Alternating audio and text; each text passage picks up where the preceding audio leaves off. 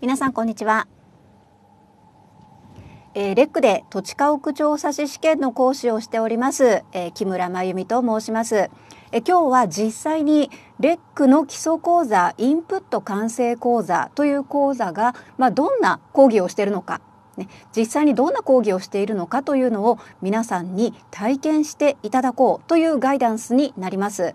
はい、で、あのー、実際にえー、この講座がどんなものなのかとかあとは土地家屋調査士試験というのがどんな試験なのかというのは、まあ、またあの別のガイダンスにね上げておきますので、えー、そういったことはそちらのガイダンスを見ていただければいいかと思います。で今回のガイダンスはもう実際に講義を皆さんに体験していただこうということで、まあ、皆さんに、えー、レジュメ、えー、こちらをご用意いたしまして、まあ、実際にこんな風に講義してるんだよというのを見ていただいて、ね、これだったら勉強ついていけそうかなというふうにね感じていただけたら、まあ、お申し込みいただければいいかなというふうに思っています。まあ、実際に合格者の方もこのようなガイダンスだったりね、あとはまあ無料で、ね、体験できる講座なんていうのが、まあ、大体1回目、ねまあ、無料体験できるようになっているのでそういったところをきちんと主張していただいてあこれならいけるというふうな形で思っていただいた方が申し込んでもらってることがほとんどなので、えー、ぜひ皆さんもね、えー、これ最後までお付き合いいただければと思います。はい、で今日、えー、ガイダンスの中で講義実際にしていくんですがどの部分の講義なのかというのを実際にちょっとパンフレットで、えー、見ていきたいと思います。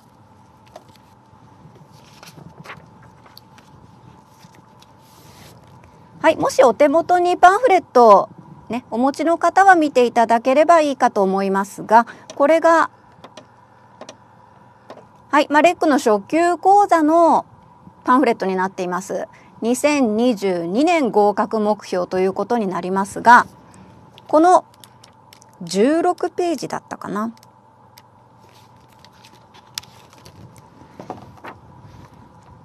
はい、これが土地家屋調査士合格コースということで、このインプット完成講座の中の理論、ちょっとアップにしますね。はい、全体構造編の理論そして書式。この部分を抜粋したもの、ね、これを講義としてねちょっと提供していこうかなというふうに思っています。でこれ全体構造編全部でこれ合わせて13回。でその後徹底解析編に入って一気に回数増えるんですがまず、まあ、問題この講座の内容としてこの全体構造編でまずは大枠をつかむということになります。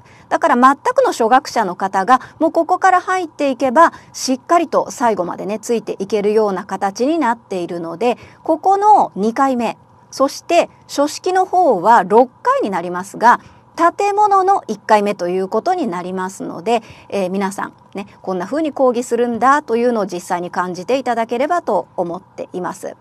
はい、でこのように理論書式そして徹底解析編に入っても理論書式というふうに分かれているのは土地家屋調査士試験のまあ特徴だというふうに思ってください。理論の対策そして書式の対策というのが、まあ、別々に必要になってくるんだということになるので講義の方もこんなふうに分かれています。はい、では実際始めていきましょう。はい。まあ、大体30分ぐらいのね、えー、内容になります。これ終了した後は、レックの各本校で、まあ、視聴していただいている方は、あの、何なりと質問等をね、レックのスタッフにぶつけていただければと思います。もちろん、お電話等でね、お問い合わせいただいても結構です。大歓迎です。はい。では、レジュメがあります。はい。インプット完成講座をちょっと体験ということで、先ほどパンフレットで見ていただいた理論の内容、そして書式の内容、これ半々で、ね、このレジュメに組み込んであります。はい。で、まず早速始めていこうと思いますが、1ページ目開けていただいて、はい。まあ、こんな風に理論の講義の仕方、実際にマーカーを引いて、ね、色分けしながら視覚的にも分かりやすく、まあ、ご自身で、まあ、カスタマイズしていく、ね、一回ね講義を聞いただけではもちろん分かりませんから何度も何度も皆さんは振り返ってね、テキスト振り返って復習していくことになります。で振り返った時に分かりやすいようにこのようにね色分けしていきます。はい。従ってマーカー。ね、ここでは2色ですけれども、まあ、3色用意してくださいということを私はね、えー、お伝えしています。はい。で、まず、表示に関する登記。土地家屋調査士の仕事というのは、不動産登記に関する仕事です。ね、でこの登記の中でも表示に関する登記ここを担当するのが土地家屋調査士ということになります。でこの表示に関する登記も大きく2つに分かれるんですね。でまず1つ目がピンクでマーカー引いた不動産の物理的現況の変化に対応してなされる登記これを報告的登記と言います。はい、報告的登記そしてもう一つ所有者の意思により不動産の個数を変更する登記これを創設的登記という言い方をします。はい。この文言はもうね早い段階で覚えてしまいましょう。報告的登記創設的登記、ね、でこの中にどんなものがあるのか分かりやすいのが報告的登記の方だと思います。これは物理的現況の変化に対応してなされる登記ということなので現況何か変化があったらこれはやらなきゃいけない登記、不動産の所有者がやらなきゃいけない登記ということになります。はい、わかりやすいのが不動産が発生しました。ね、まあこれ建物建てましたというのが一番わかりやすいかと思います。何もなかったところに建物発生しました。ね、あとは土地の場合も埋め立てが行われて新たな土地が発生した。ね、こういった場合も何もなかったところに土地ができるわけです。はい、そうすると登記記録作ってくださいとお願いするのが表題登記ということになります。ね、これも物理的現況の変化ということになりますよね。一番わかりやすい最初の現況の変化です。新たに建物何もなかったところに建ちました。土地が発生しました。はい、そうしたら登記記録を、まあ、登記書と呼ばれる、まあ、法務局といったら少しはねイメージが湧きやすくなるかなと思いますがそこにこの不動産の情報を登録してくださいこれが、まあ、登記の申請ということで表題登記という登記を申請することになります。はい。そしてその後、その不動産に何か変更が生じた。はい。まさに物理的現況の変化です。例えば建物だったら増築しましたよとか、ね、土地だったら土地の利用状況を変えましたよ。はい。そうすると、表題部の変更の登記というのが必要になります。はい。そして一番右側に来て、滅失の登記。はい。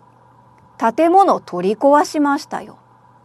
はい、そうすると登記書に備え付けられている登記記録これはもちろん今ある状態ででも現況は取り壊してなくなってしまった。はい、やっぱり物理的現況の変化これが起きるわけですね。はい、そうするともう現況建物ないわけだからその登記記録閉鎖してくださいよというお願いが滅失登記の申請ということになります。これも建物の所有者がやらなきゃいけない登記。はい、この3つ報告的登記の代表と呼ばれるものです。はい、そして次にちょっとイメージがつきづらいのが緑でマーカー引いた所有者の意思により不動産の個数を変更する登記。不動産の個数を変更するといってもこれは現況変更するということではなくて登記記録の数これが変更されることになります。はい、下の方に下がると網掛けで4つの登記示してあります。これ全部創設的登記です。はい。で、ポイントは登記簿上の個数を変更。だから現況は何も変化がないんです。でも所有者が登記記録分けたいとか、あとは2つの土地の登記記録を1つにまとめたい。建物も同じです。はい、これ登記記録の数だけが変わるので現況は何も変わらないというのがこの報告的登記ピンクでマーカー引いた登記と大きく違うところ。いいですかね。これをまずは頭に入れてもらって表示に関する登記というのは大きく2種類に分けられるんだな。一つが現況変わったことによりやらなきゃいけない登記報告的登記2つ目が現況何も変わってないんだけれども所有者がそうしたいと思ったら登記記録の数を変更する登記これができるんだ。だから現況何も変わっていないのでこっちに関してはやらなきゃいけないということではない。じゃあどんな時にやるのかっていうのはこの後ちょっとここね代表的な分泌の登記で見ていきたいと思います。はい。では3ページ。はい今最初に見た表題登記報告的登記の一発目ですこれは登記記録作ってくださいというお願いなのでこの登記を申請して登記官が実行してくれることによって初めて登記記録が作られるという登記の申請になります。はい、例えば建物建てました。はい、居宅と物置セットで建てました本来だったら1個の建物について1つの登記記録ということになるんだけれども一定の要件を満たした数個の建物というのはこの下のように一つの登記記録の中にまとめて登記することができる。ということはまあ例外なんですね。本来だったら1個の建物について1個の登記記録。でも2つの建物について1個の登記記録にまとめて登記できるということは例外です。ただこのような例外部分というのは非常に試験で問われやすいのでじゃあどんな要件が揃った時に複数の建物を1個として登記できるのか、ね、これはまた、ね、本講義で実際にお話ししたいと思います。すごく重要なところ。ね、で、まあ、これに重要なところに関しては講義の中では絶対的な A ランクですよ。次の講義までに覚えてきてください。これ聞きますよ、ね、こんな風にかなりしつこく言うので、ね、もう本試験対策としてここが重要だっていうのをメリハリつけて学習していきます。はい、そうするとどんな建物なのかというのがこの登記記録に示されることになります。はい、例えば居宅として使ってますよという利用状況。で、どんな構造ですか？何階建てですか？屋根はどんな風な種類ですか？床面積は何平方メートルありますか？いつ新築されたんですか？ということでこの登記記録を見ることによって誰でもどんな建物なのかっていうのが分かるようになっています。はい。では次。5ページ。はい2つ目の報告的登記表題部の変更登記です。はいこれに関してははい例えば土地。登記記録には畑という利用状況で記録されている。でも現況はい駐車場に変えましたよ。となると駐車場の利用状況を表す事項というのは別にあります。ね、もちろん畑ではないよなっていうのがわかると思います。ね、じゃあ畑じゃなくなっただからそこを変更してくださいという登記の申請をしなきゃいけない。はいそうするとここにある雑種地なんていう変わった登記事項。土地の地目というんですけれども利用状況を表す登記事項を地目というんですが駐車場を表す地目は雑種地というふうになるのでじゃあ畑じゃなくて雑種地に変更してくださいという変更の登記を申請することによって登記記録の地目欄を雑種地にしてもらうことができます。6ページはい、現況畑だったんです最初。はい。で、表題登記、登記記録作ってくださいという登記の申請をして、地目欄には畑というふうに登記されていた。でも令和4年1月20日に所有者はここを駐車場に変えたんです。はい、そうすると何もしなければ登記記録の地目の欄というのは畑のままです。はい、現況は駐車場として使っているのに登記記録は畑として登記されている。ということは誰かが、ね、この登記記録を見てあここ畑なんだなでも現地に行ってみたらここ駐車場になってる。ね、それじゃあこの登記の意味が何もないですよね。ねこれ登記記録を登記書に備え付けてる意味がない。だからこの不一致は速やかに是正しなきゃいけないよねっていうことでこの土地の所有者にこの地目の変更登記の申請義務を課しているんです。はい、でこの所有者が地目の変更登記を申請することによってここが現況と一致しましたということになります。じゃあ登記記録どうなるのかというと下に載せてあります。1行目には畑としてこの登記記録が設けられていた。はい、でもこれが令和4年1月20日に地目変更しましたよという登記の申請をすることによりこの地目という欄が雑種地に変更される。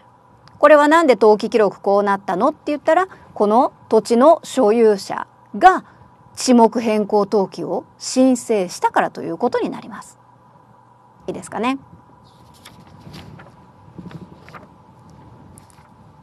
はい。そして7ページは名室の登記、報告的登記の最後ですけれども、これは建物取り壊しました。はい。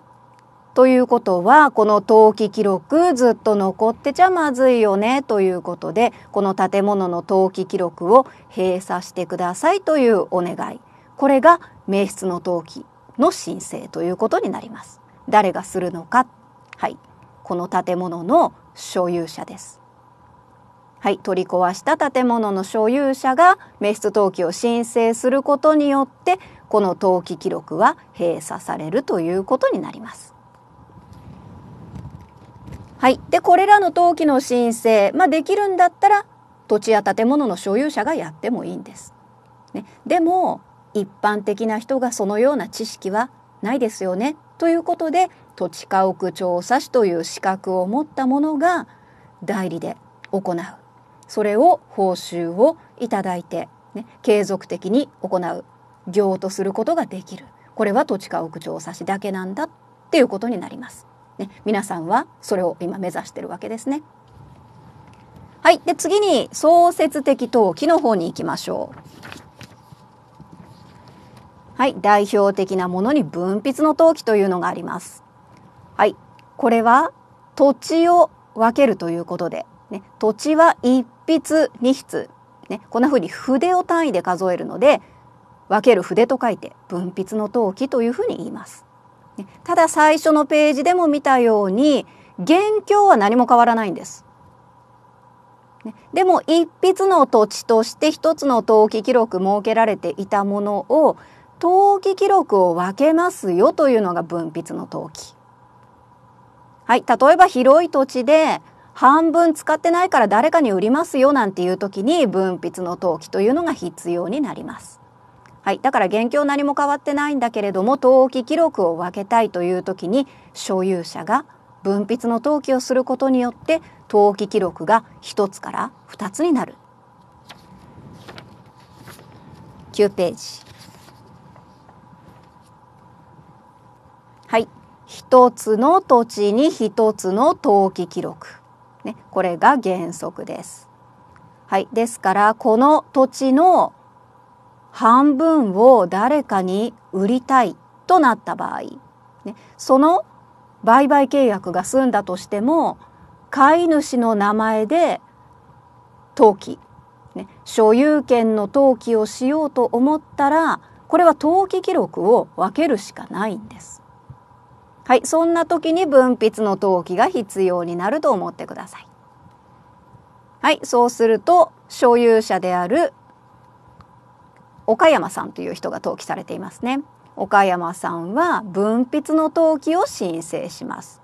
そうするとどうなるのか。はい、登記官が新たな登記記録を作ってくれます。はい、いいですかね。ただこれは登記記録の数が増えるだけであって、現況、現地が変わるわけではありません。登記記録分けたからって絶対的にここに塀を設けなきゃいけないとか、ね、そんなことももちろんありません。ね、登記記録の数が増えるということで現況は何も変わらないんだというのを今しっかりと頭に入れておくといいと思います。これが報告的登記との大きな違い。はい、そうすると登記記録が2つになりました。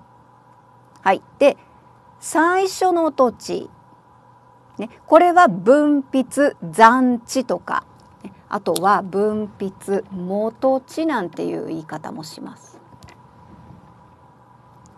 はい、元々の土地分泌前の土地の登記記録を使い回していきます。はい、だから分けたことによって土地の面積減りますよね。減りましたというふうな形で地籍が公示される。はい、でなんでこんな番号に変わるの？土地の名前も変わります。1番という土地から1番1新たな名前がつきます。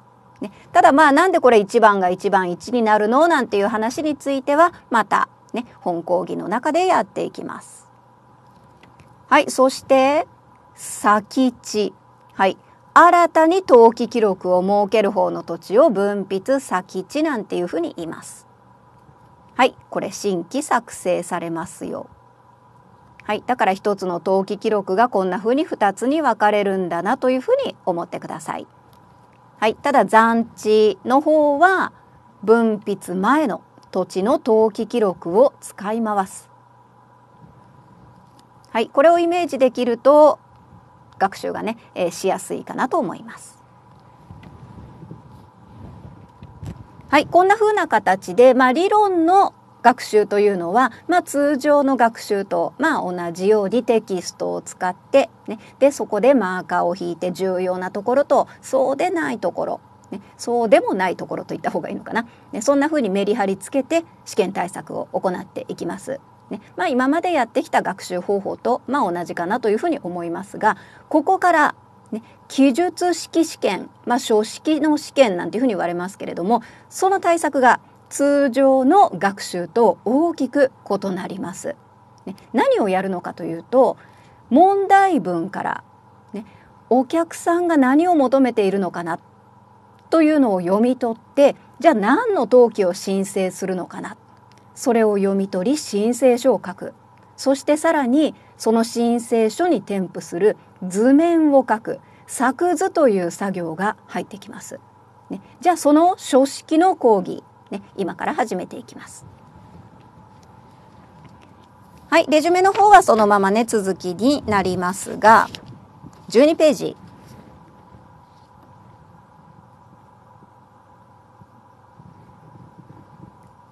まあ、実際にこんな風に本試験でも問題文の中から必要な内容を読み取っていくという作業をしていきます。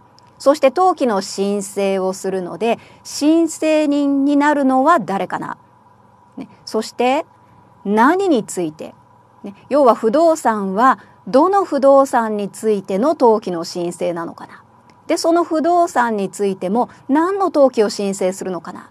それを長い文章から読み取っていきます。はい、でこれは全体構造の書式の建物の1回目の内容になるので初めての建物の問題ということになります。はい、最初からねいきなり難しい問題は解けませんからねこういった優しい問題から徐々にやっていきますからね。はい CCF 町2丁目2番5および同書2番6の二筆の土地上には2棟の建物高建物と大津建物が所在している。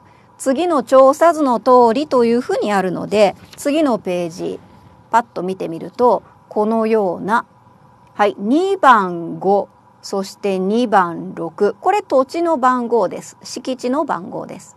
ここに高建物とオツ建物が建ってますよはいまあ、この通りのことが問題文の文章冒頭で出てきたなというのがわかります。はい、そして3行目。はい、土地家屋調査士の名前が出てきて、この人が登記の申請するんですね。代理人として。はい、2棟の建物の所有者。C 市飯町1丁目2番3号に住所を有する安倍春明から。はい、必要となる表示に関する登記の申請手続きについての代理、はい、これを依頼されました。はい、じゃあ必要となる表示に関する登記って何なんだ？はい、これを読み取っていくことが必要です。はい、まずここまでで、はい、対象となる建物はこの2つの建物だということが分かりました。そして誰からの申請なのか、安倍春明さんという人からの申請だ。安倍の生命じゃないですよ。安倍春明さんです。はい。で何の登記が必要なのかというのはこの後読み進めていかないと。ちょっとわからないのでこんな風に問題読みながら誰から何の建物について土地だったら何の土地について何の登記を申請するのか、ね、こういったことを読み取るぞという気持ちで問題文を読んでいく。ただだらだらだらだら読んでいてもねこれは認定できないですから。はいじゃあ何の登記の申請書なのかはいそして問いの2さっき理論で出てきた数棟の建物を1個の建物として登記するにはどのような要件を満たしていなければならないか。はい、これちょうどいいので、えー、まあ回答もつけてあるので後でね回答で確認したいと思います。はい、そして問いの1、ここで作成する登記の申請書。これに添付する建物図面、各界平面図。はい、建物の問題、必ず図面2つ作成しなきゃいけません。はい、じゃあまあどんな登記の申請の時にどんな図面を作成するのか。ね、これも一つ一つ覚えていかなきゃいけないことですけれどももうちょっとね続きを見ていきましょう。はい。で、その図面の作成に関しては、縮尺、このように決められています。建物図面は500分の1。そして、各界平面図は250分の1。はい。これを、まあ、レックの定規、三角定規を使ってね、作図していきます。今日はここで作図の場面をね、お見せしようと思うのであこんな風に書くんだというふうにね思ってもらえればいいです誰でもすぐに書けるようになりますからね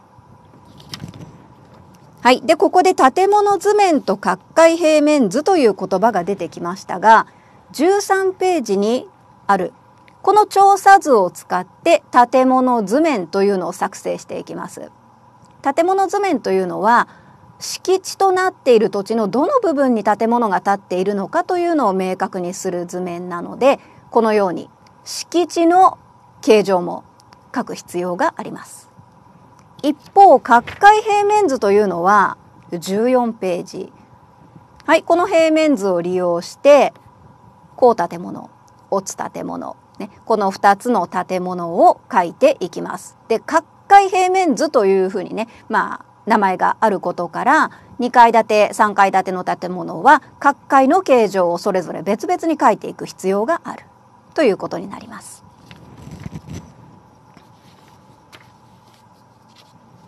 はい。では15ページ。はい。ここで何の登記が必要なのかというのが分かってくるわけですね。はい。安倍春明さん。2棟の建物を新築しましたよというふうに出てきました。ということは新たに建てたということです。はい。新たに建てたということは建物が発生した。何の登記が必要か。冒頭でやりましたよね。新たに建物が発生した。登記記録を作ってくださいという登記の申請。表題登記ということになります、ね、新築と出てきたらあじゃあ申請する登記は建物表題登記ということになります。何の登記を申請するかも分かりました。はい。で3番で安倍春明は可能であれば高建物落つ建物を1個の建物として登記することを希望しているじゃあ可能じゃない場合もあるんだなっていうことが読み取れますよねじゃあ今回なんで可能だというふうに考えられるのかというのが下の調査結果で読み取れます。はい、ちょっと先に括弧の3番まで下がってしまいましょう。落つ建物は高建物で使用する物品の収納保管のように供する建物として利用。はい、ということは高建物でこれ事業活動を行うのに必要な事務を取るための建物これが高建物ですよ。これ事務所という利用状況で表していきます。でその事務所で使用する物品の収納保管のように供する建物これ倉庫というふうに判断していきます。ってことは倉庫があることによって事務所の価値は高められます。便利ですよね。価値高まりますよね。ということでこのような要件が揃った時はまとめて2つの建物を1個として登記できますよ。ね、このような規定があります。だから今回可能であればのところ、可能だなというふうに判断していくことができます。だから何の関係もないようなこう建物と落つ建物だった場合はこれが不可能だっていうことになります。はい。まあ、こういった内容も理論でもうちょっと詳しくやっていくので、今はちょっとピンとこないかもしれませんけれども、考え方としては、この落つ建物、倉庫があることによって、こう建物、ね、この価値は高まりますよね、というふうに考えていくと、これまとめて登記することができるんだな、ね、イメージはつきやすいかなと思います。はい。じゃあこの2つの建物がどんな建物なのかというのをこれ登記してもらうためには申請書に書かなきゃいけない。はい、こう建物鉄筋コンクリート像スレート武器1階建て。はい、構造という欄に主な構成材料そして屋根材そして何階建てなのかというのを書いていきます。はい、落つ建物の方も同じ主な構成材料屋根材何階建てかそしてそれぞれ新築された日付、ね、これも登記記録に登記してもらわなきゃいけないので申請書に書いていくということになります。はい、そうするとじゃあどんな申請書が仕上がるのか次のページに回答が出てきます。はい、16ページ。はい、まずは何の登記を申請するの？建物表題登記です。登記記録作ってください。ね、これが表題登記です。はい、で添付情報のところはもうこれ表題登記にはこれらが必要なんだ。ね、もうこれしっかりと覚えていかなきゃいけないので、まあ、講義の中でしっかりと説明していきます。はい、そして申請人は誰ですか？はい、安倍春明さん、住所と氏名、問題文に出てきたので、これをそのまま書き写しです。はい、17ページ。はい。じゃあ実際に登記する建物、どんな建物ですか？はい。まず所在。2番地6、2番地5。はい。2番6の土地と2番5の土地に建物建っていましたので、ここが所在というふうな形で表現していきます。はい。そして1行目。これ、こう建物です。これが主である建物という言い方をして、種類、事務所として使ってますよ。構造、床面積そして新築年月日はいだからここに書くことを問題文の中でマーカーを引いていくはい、だからこう建物と落つ建物とこんな風に色を分けていくとかこう建物は普通にマーカー引いて落つ建物はアンダーラインで引いていくとか、ね、こういったチェックの仕方をしていくと申請書書きやすいですよね問題文見ながらこの辺りはもう書き写すだけだから。で床面積に関しても今回であったら単純な長方形なのでもう普通に掛け算で縦かける横で計算すればいいだけです。はい。そして、なんで2つの建物を1個として登記できるんですか？はい。もうここは、実際にこれは本試験の問題でもこのような形で問題出てきます。はい、だからもう実際にこのまま出てきてもおかしくないと思ってください。こういった内容はもう A 丸ですよ。ね、次までに必ずここ言えるようにしてください。ね、こんな風に講義をしていきます。はい。そして図面。こんな図面を作るんだな。はい。まずは18ページに角界平面図です。はい。で、主である建物。これが公建物で、符号1の付属建物。これ、オツ建物です。こんな風に並べて書きます。はい。もちろんこれ、上下に並べても OK。ね、きちんと枠内に収めてあれば OK です。で、次のページが、建物図面です。はい、そうするとさっきお伝えした通り建物図面というのは敷地となっている土地のどの部分に建物が建っているのかというのを表す図面。ね、だから必ず敷地の形状まで必要になります。じゃあ実際にこれね三角定規を使って書いていきたいと思います。はい、まあ、皆さんねこんな風に書くんだというのを画面をぜひね見てイメージを持ってください。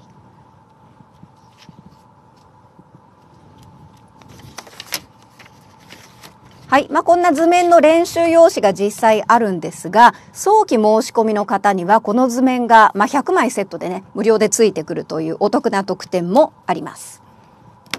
はい。で、三角定規はというとこんな定規なんですね。はい。で、赤と青でメモリが振ってありますが、赤の方を線をね、実際に引く部分に持ってくると、自動的に250分の1の縮尺で図面が描けるようになっています。実際に縮尺メモリ付きの定規です。はい、これを使ってね、書いていきます。はい。で、まずは左半面に、これを書きます。角界平面図、こう建物、オツ建物を並べて一気に書きますね。はい。